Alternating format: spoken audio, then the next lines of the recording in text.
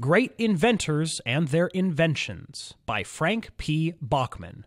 Preface This book contains 12 stories of great inventions, with a concluding chapter on famous inventors of today.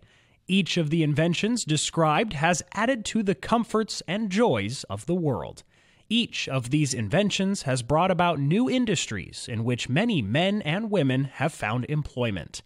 These stories, therefore, offer an easy approach for an understanding of the origin of certain parts of our civilization and of the rise of important industries. The story of each invention is interwoven with that of the life of its inventor.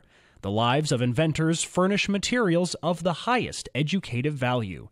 These materials are not only interesting, but they convey their own vivid lessons on how big things are brought about and on the traits of mind and heart which make for success. It is hoped that this book will set its readers to thinking how the conveniences of life have been obtained and how progress has been made in the industrial world, while appealing to their interest in inventions and in men who accomplish great things, may it also bring them into contact with ideas which grip their hearts, fire their imagination, and mold their ideals into worthier forms. End of preface.